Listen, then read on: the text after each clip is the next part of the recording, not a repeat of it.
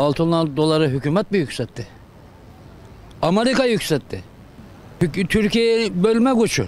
Öbür taraftan bölemedi, dehordan bölemedi, filan yerden bölemedi. Hükümet kendi kendine bir bahalılık olduğunu ister mi? İstemez. İstemez. Niye?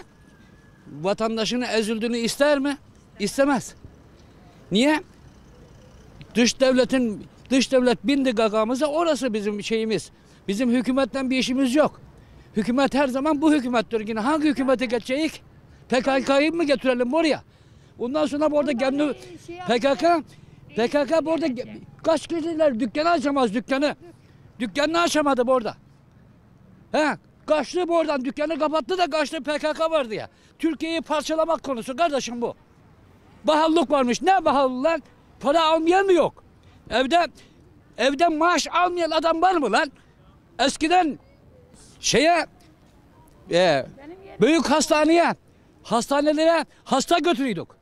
Hastayı kardeşim hasta orada öldü cenazemiz.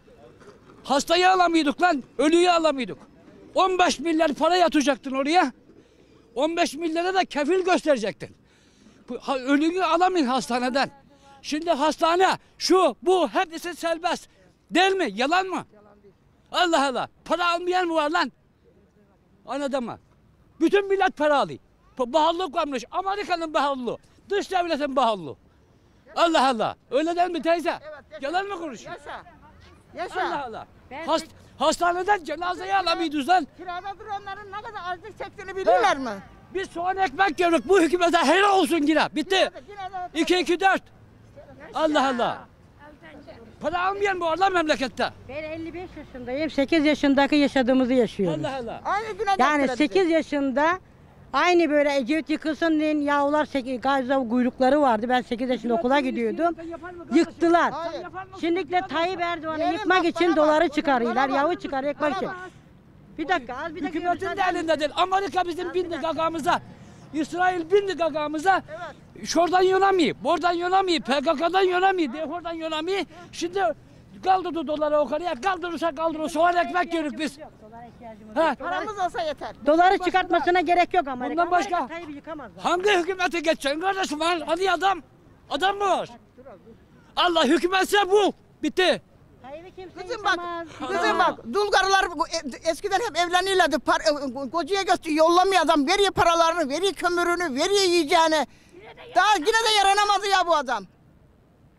Ama Ha. bekliyorlar Ya böyle. cenazeni abla. Öteki adam da ben hastaneye gittim. Ambulanstan dünya para verdim paranın gününde. Şimdi başım ağrısa gideyim. Fakülteye gidiyorsun fakülteye. 25 kuruş para vermeden geri geliyorsun. Gel, bütün millet. Eskiden fakültede ağzını, ismini ağzımıza alamıyorduk lan biz. Fakültede cenaze öldüğü zaman da 15 milyarlıkla senet getirecektin. Öyle alacaksın ölüyü. Ölüyü öyle veriyorlar. Şimdi de ölüyü hükümet cenazeyi ne yapıyor biliyor musun?